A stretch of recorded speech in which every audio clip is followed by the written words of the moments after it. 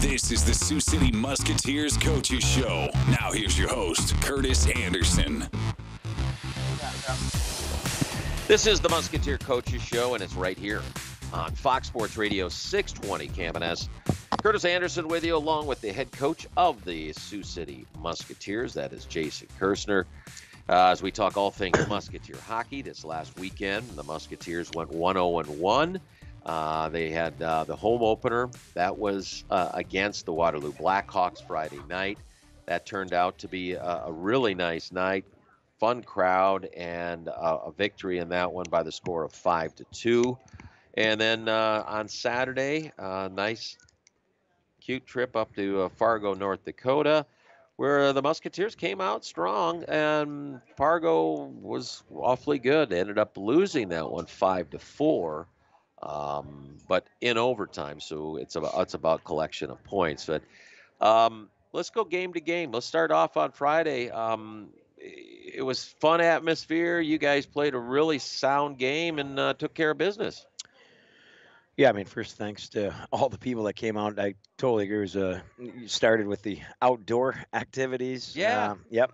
Party, Party on the, on the patio. Yeah, that's right. That's whatever. right. We had the live music and uh, food truck and drinks, and we got to obviously we were busy, but we got to kind of walk through and see everyone for a minute there, and uh, and I thought the the kind of the energy from the crowd carried over throughout the game. So it was really we have we, we've only had one home game out of the six so far, so it was good to have a great turnout on a Friday. You know, sometimes Friday nights early in the year are tough for people, and It is. it is, and it was really a, a a good crowd. So thanks to all of the parties for putting it all together and people coming out and supporting the team.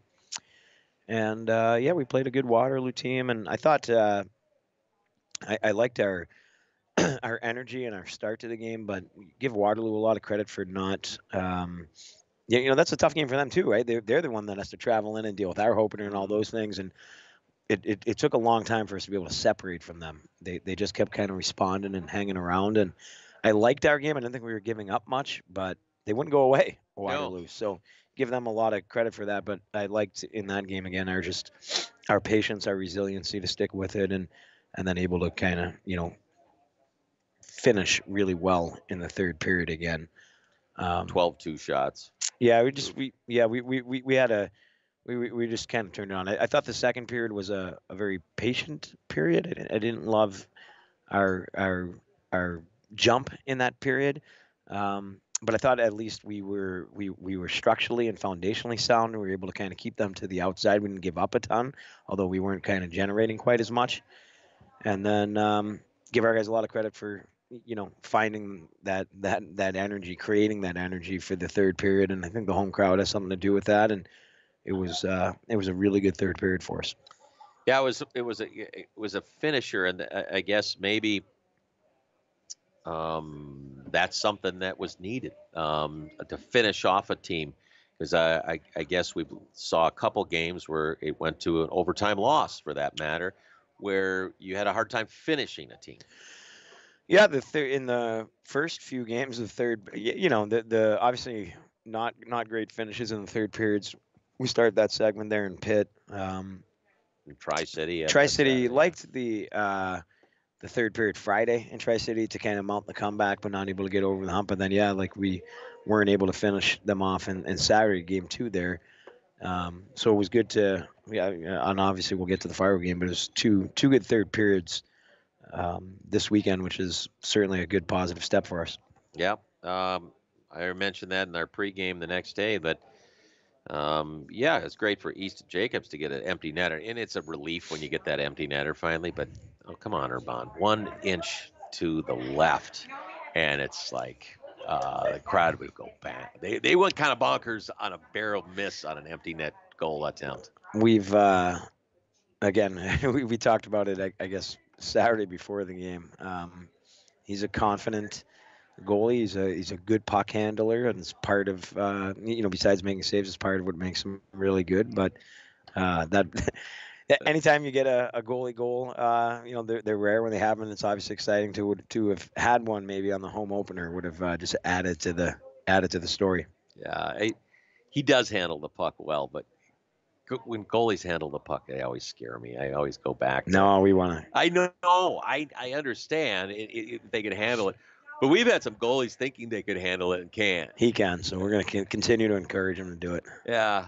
Well, there's a certain goaltender that was uh, that's at Mankato right now. That was pretty darn good goaltender, but I'm like, don't don't don't go back there. Don't don't just leave it there because uh, It's a it's a luxury. It's a weapon. Again, not like an extra defenseman. it if is. you have it, you Yeah. can break out. not ev- not everybody. Yeah. Uh, you're right. Not not all goalies are are skilled at it, but the ones that are, and the ones that you know, whether that be college or professional, that have that as a part of their of their arsenal, just makes them that much better. And he's good at it, and so a it's helpful to us, but also uh, you know we talk about this. You know, you're you're trying to win games. There's also a developmental league, right? And that's something that we have a player that's good at. We want to continue to to add that to his you know his strengths. So um, you know, as he tries to continue his career through college and on to professional, that if that's something that can be a separating factor between him and somebody else, we want to continue to try to develop that skill for him. Yes, we'll mention, and we can mention them both nights, but uh, two big goals by by Shazy again. Yep. Yep, for sure. That's, that's five goals in three games, by the way. Yep, he's uh, obviously. I I don't even want to say it was a slow start, you know, because I don't think he was playing poorly. Um, but yeah, just obviously. Uh, Something that he's finishing. Yep. He gets the puck. He wastes no time, and and that's something you probably a second year player knows they have to do, rather than a first year player that a first year player might go. I've always been able to catch it, look, and then shoot. Yep. Um, no, you need to get rid of that puck and and put it in a good spot because goaltenders are too good. yeah, I mean, obviously the goaltending's great here, and, and listen, Chazy's had what do you have, 2021 last year, so he's a goal scorer. We know that, and I think, um, but you know, it's funny. One of the, one of the, we, we talk about uh, first year and second year and all these things. What, what I find one of the things that's very interesting is, um, I think one of the things that gets overlooked in the challenges for second year players is oftentimes the a little bit of a role change, right? So obviously there's some really good uh, comfortability and positives and steps to be taken uh, that that we've seen already in a lot of our guys here in year two. But there's also some challenges that go with that, and and one of those things are those role changes. You you went from maybe just making the team and being on the team and trying to carve out a then maybe that's a third or fourth line roller or penalty killing or, or something to get on the team and get into the lineup and try to earn minutes, things like that. To now, in some cases, you, you're those guys that were, you know, uh, your Ryan Conmy's and guy, the, the, some of those and Grant Lukinskis and Ben Durant's and Sam Deckens and guys that were had Tyler Hodsons, right? These guys that had some of those minutes, they have to be filled by other people. So now, now you take a step into a, a slightly different role, right? And I think sometimes what happens when players are trying to to do that, they they they oftentimes will switch a little bit about how they play, right? So what made them successful, they maybe start to Yeah, lose a little bit, right? This is focusing on something. correct, Yeah, and I think this is this is a very difficult challenge for players. And I think Shazy again, he wasn't playing poorly, but I think he was really early, maybe trying to struggle with that that that role change a little bit. And then I think what happened was he just got he said, you know what? Yeah, maybe my time on ice is different, my opportunities are a little bit different, but I'm just going to go back to being myself, and I'm going to play my style. I'm going to use my strengths. To your point, shooting and getting it off the stick and doing what he does. And now he's doing that again. busting And his butt down the ice, Yep. even on a shorty. Yep, and and there you go. Now you see him uh, getting rewarded for that. So give him a lot of credit for being able to make that adjustment. So quick. we've only played six games, and and and so to be able to say, you know, hey, a couple of these games didn't go exactly the way I wanted to.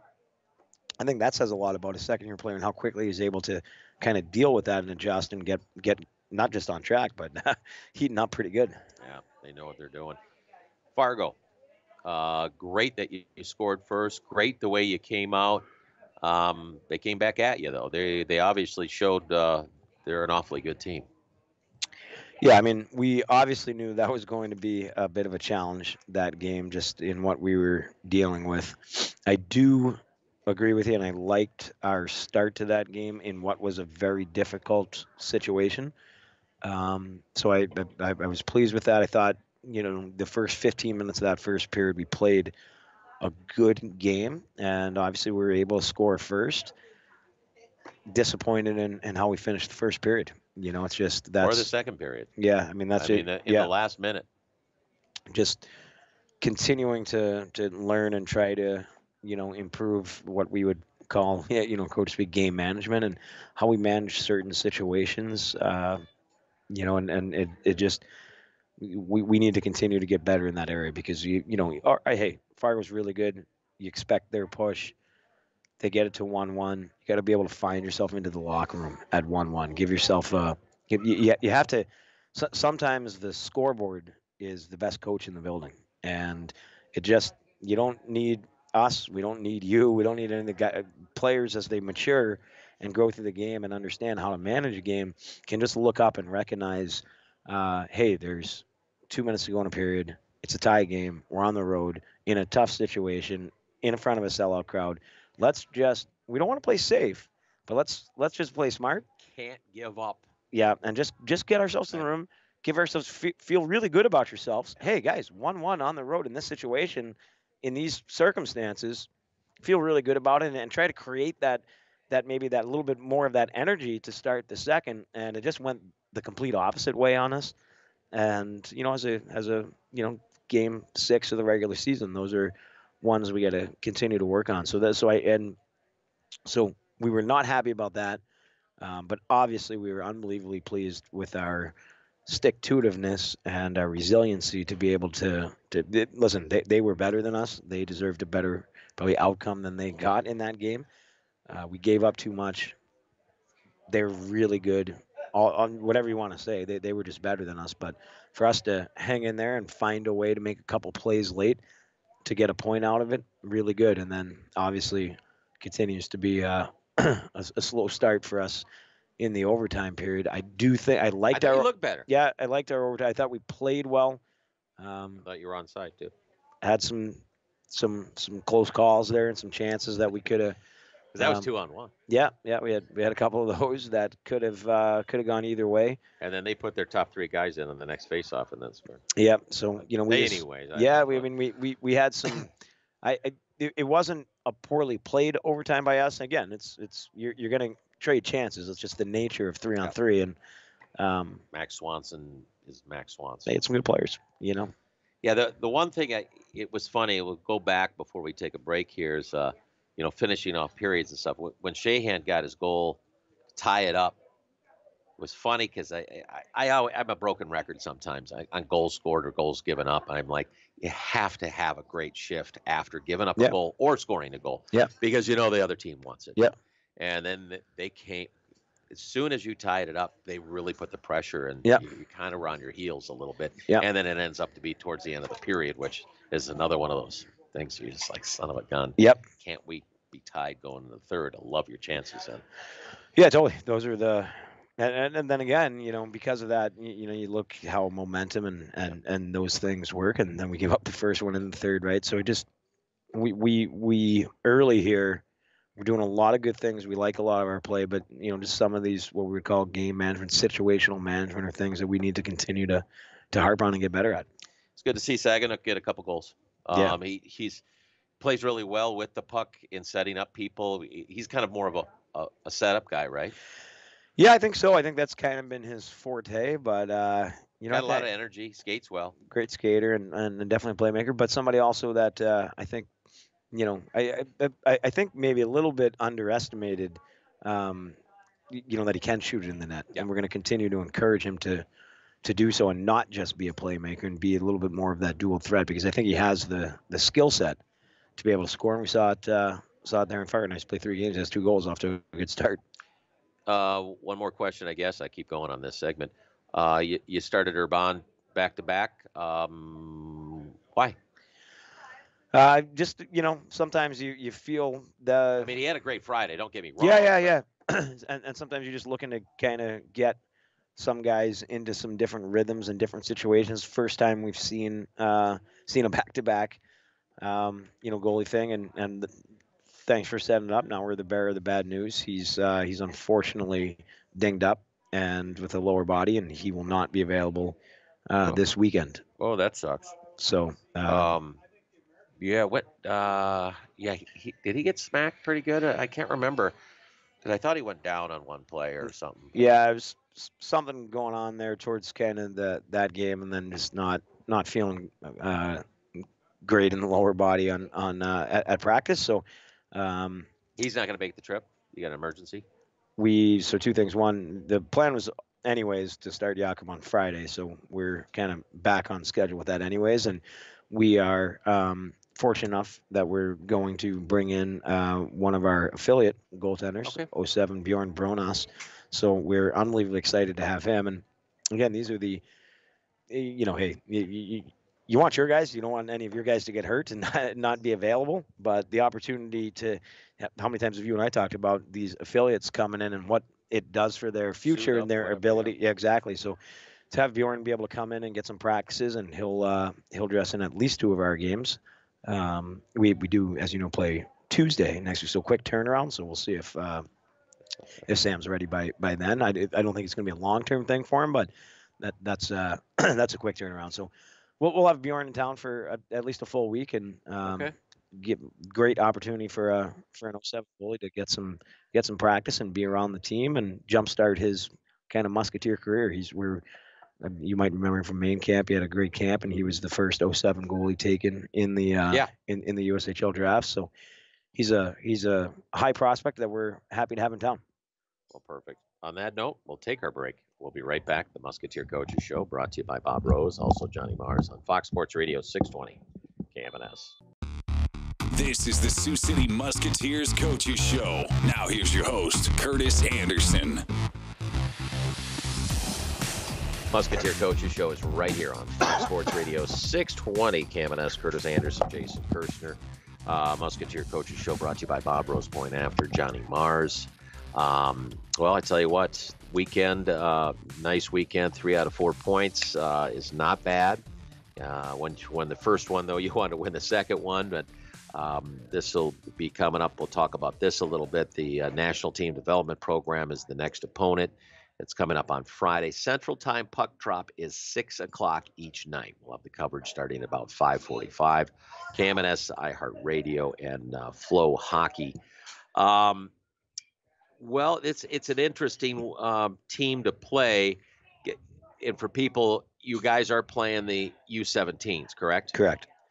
Um, it's a team that you won't know much about, then, correct? Or, or do some of them play on, on the national team on those younger leagues too? And Uh, I mean, they've played a few games, so so there's some stuff to see, you know, and, and obviously they were, um, you, you know, their their birth year is heavily scouted for for our draft, right? So, um, so our, our guys have some familiarity, but they're they're to your point, they're a new team, right? And so you don't you don't have a a big book on them like you would, um, you know, some of the even the 18s who were all played in this league at some point last year, yeah. exactly, and um, so no, so it, you're right in that regard. It there's not a ton of information on them.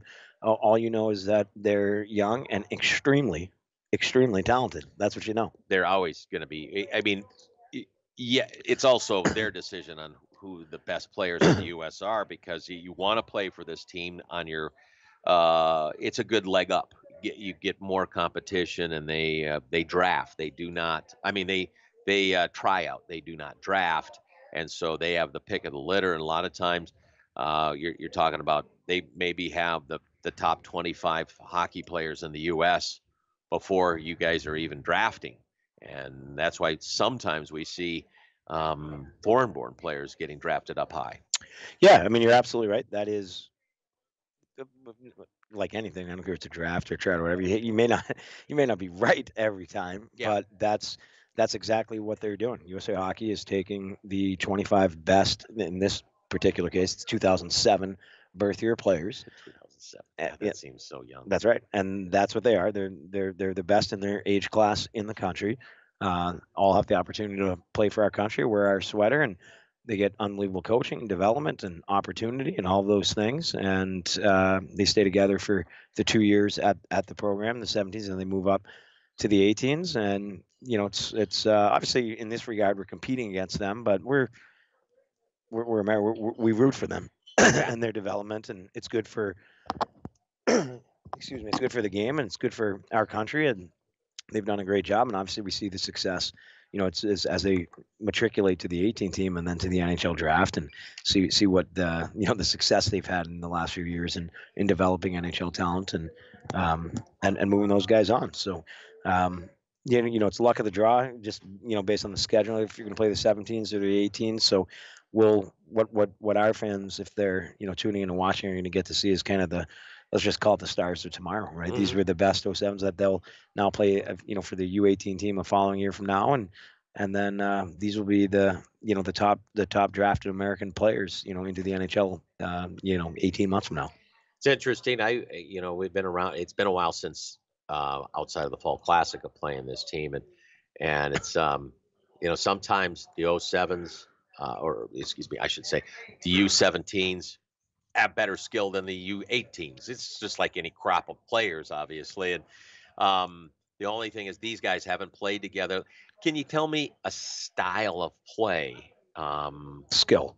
Skill. Skill. Um, and we've seen this before where you can control the play, control the play, and they get one opportunity. Yeah, that's yeah, they, they don't need many opportunities to score. That again, that we as we said, you, you're, you, we they've found the best 07s in the country, put them together. So obviously, the advantage for us is, um, you know, just age and size and weight and USHL experience, right?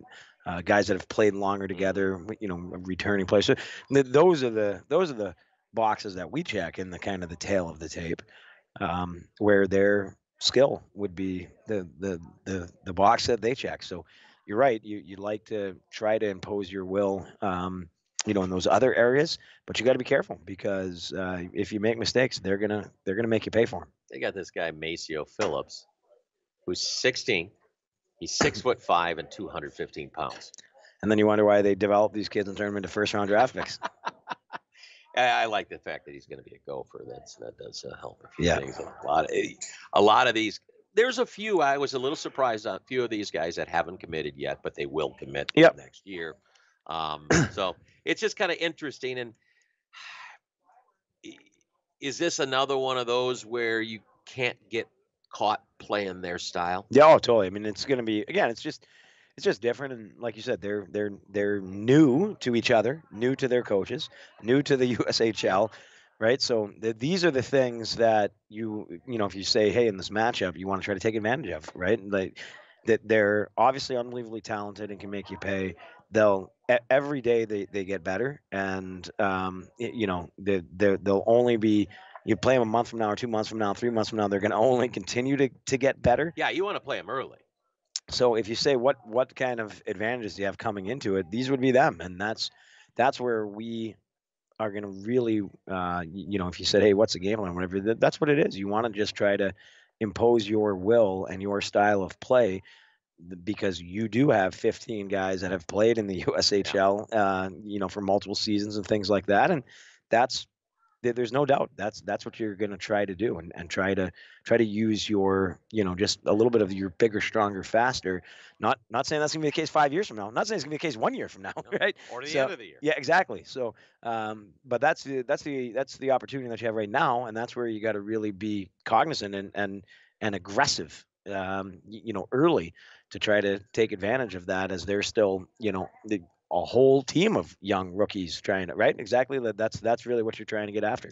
Can you put a little chip on your shoulder saying hey i didn't make this usa team too or, or... uh yeah we would only have 107 we only have 107 oh that's true. Team. so yeah I, so most of our guys were way yeah, too old for this maybe if it was the 18s i guess i don't know. Yeah we, we don't have that many 06s yeah. right? even the 18s are young so um no, I listen. It's a group of listen. It's a it's obviously a group of unbelievably talented and hardworking and driven players that are going to have a long careers and a lot of success. They get, um, you know, obviously USA Hockey uses a lot of resources. The coaching staff is excellent, and they have a lot of resources. So, uh, again, we have an advantage just of our kind of our, our age and our experience, but that's it. It's not it's not a uh, it's not a cakewalk. You're you're playing you're you're playing some really really good players. So you're gonna have to uh, you, you're gonna have to be dialed in. Saginaw played for the U7. He did. Well, just, that's the only connection we have on this team we haven't seen in a while. Let's get one more break in. We'll come back. I do want to mention a couple former Musketeers that'll be uh, on the opening roster of their NHL team. Uh, we're at Bob Rose Point after on Fox Sports Radio 620 KMNS.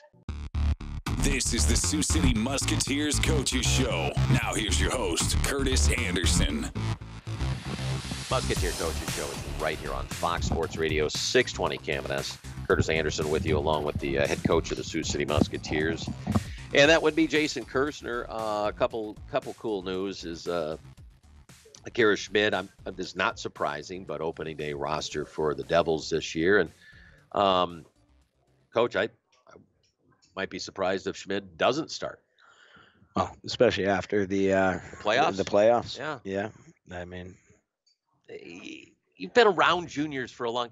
That doesn't happen No. three years later into the NHL. No. I'm sorry. I mean, give Lennox, and uh, he was another awesome goalie of the Musketeers, but it still took him longer. oh yeah. I, I, Aki's uh, just like to your point, the speed of of, of his path, and and then the finish to last year and being thrown in like that, and um, in, at the hardest time of year in the Yeah. playoffs, and and having some unbelievable performances. It's uh, yeah. To your point, it's just amazing to see.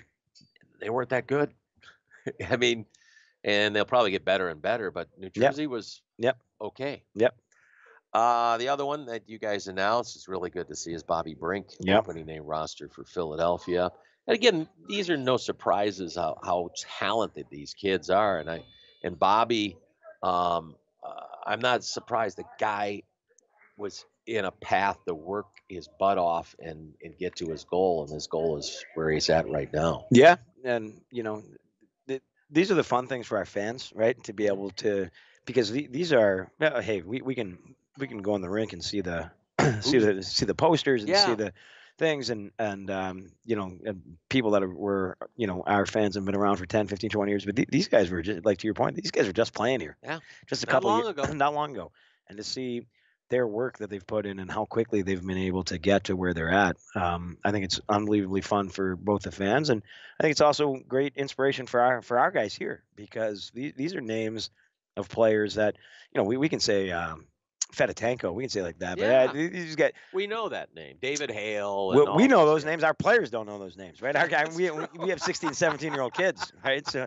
hey, hey, you remember, uh, in the- the- you know, Ruslan Fedotenko won a couple Stanley Cups. Who's that? Who? I, you know, that's what happens when you're coaching 16, 17 year olds. Um, Yeah, you need a, a history tour of Musketeers for the guys. Yeah, at least they yeah. know their their history. yeah. right? So you know, and we have that in the locker room, hanging up you- of all those oh guys. yeah, it's really cool. yeah, too. but you know, uh, I think it's that much cooler when they can see guys over here just to your point, three years ago, four years ago. Haley that- Tolvanen up in the Kraken E- right now. and- exactly. and he was in the Cup final. Yep. Um, Yep. So I I- think it's just again for the fans and for our players, it's it's fun, it's inspiring, and um, obviously it's great to see. you see it. Uh, I think I see it because I'm right there. But I- I think there is a lot of fans, a lot of people around that don't realize just how good and their future is for these players that are suiting up in a musketeer sweater. Yeah, I mean, uh, I, I, I really, I, I couldn't agree more. I think that's the uh, until they get there. I don't think they, I, I, I don't think everyone quite appreciates it, Yeah. right? That, that th- this really, um, you know, wh- whether it's our players, even the competition that we're playing against, right? That just every night when you come to a Musketeers game, there's there's a handful of Musketeers, there's a handful of opponents that, if you're an NHL hockey fan, just give it a few years, and you're gonna see. Oh, I remember that guy. He was- he was he was a musketeer or he played for Sioux Falls, wherever, right? That's Yeah. the best part about this league is it's chock full with these, you know, um, these these high ability players that are that are n- not just are they really good it, by by being in this league. We talk about all the time the development and how hard it is and how how you have to work to improve and and these are these are these are committed athletes, right? You look how how many how many local kids do we have here? These are these are players that that pick up, they move away from their families, they they move to different countries, right? They they live in host family homes. I don't care if that's here in Lincoln or no, it doesn't matter. We're all doing the same thing, um, you know, with the intent of of developing and and getting to to to play on TV one day. And it's uh, every day you see more and more success stories out of the USHL. It it's grown so much. I, I mean, I I date back for so long because I remember when they moved to Tier One, and I remember the conversation I had with the coach at the time, and he says, you're going to see a lot younger players uh, in this league now because those superstar young players aren't going to necessarily go to Canada and go play in another league. And it's slowly and slowly. Why wouldn't you be in the USHL when you have that many first round draft choices or how many draft choices altogether all through the league? The avenue's right there. Yep. And now it just keeps growing and Yep. growing and growing. You know, at one time we are like, well, unless it's the Ontario or the Western or something, we're not going to get a first round draft pick. Well, heck, we, we- we got first overall pick. Yeah, yeah, yeah. No, to your point, it's grown so much, and this is, this is, it, it, it's not just anymore uh, a good junior league in America, Yeah. right? It, it's, it really is, uh, you know, the best, arguably the best in the entire world, and it's a place where, um, you know, where where we have, obviously the Americans, but you can see, right? We have Canadians, we have Europeans that move to come here to be a part to of this be league. part of the league. Exactly. Yeah. To, to to achieve their goals of getting to to professional hockey. Yeah, no, I I I think it's interesting right now. You mentioned obviously Samuel's a little dinged up uh, as we talk more about the team. Um, how's how's the rest of the health right now? Is and, and I, I guess I, I mentioned it's you know obviously Kessler who had a little upper body work uh, problem. Is he going to be back in the lineup? He should be back um, for practice tomorrow and should be good to go for the weekend. We'll know a little bit more in the next coming days, but really trending in the right direction. And I think other than Samuel, right now, let's knock, on, wood, yeah. that uh, we should be in, in in pretty good health for right now. Yeah, and that's that's it can happen anytime, obviously. Yeah, So- as you know, we saw and we saw last year we dealt with a lot of it, especially early. The it goes quick, so um, it's ask- just part of the. poor Brian Nicholas, uh, Yeah. what what injury can be, and he's obviously healthy now. I I look at um, like Kessler, an upper body. That's the problem. Is you go through all the different things, and then you have one setback, you got to be off, right? Yep, and it's the same. I mean, it's you know upper body, lower body. These are the things that, um, you know, it, they- they're they they can be frustrating for athletes because you, you start to maybe get into a groove and a rhythm and feel comfortable. And again, whether it's your you know Kessler in your your second year and you're maybe you come back with a little bit more Yeah. comfortability and expectation, those kind of things, and and then and then you got to miss seven to ten days, right? Or you take or you take the you know Brian Nicholas example last year of a young player that's trying to find his way and starting to get a little bit more comfortable. And bang, then then you're out and it sets you Go back. back to home. Yeah, exactly. know? So you just so yeah. Listen, it's it, it's it's uh, uh, as as much as the any of these things obviously are physical ailments that that um, you know are are issues for the players. I, I think most of the times it's just as hard to deal with mentally, right? And and and how you overcome that that adversity and stay positive through that to, to be able to work yourself back into that that right mindset to be ready to compete.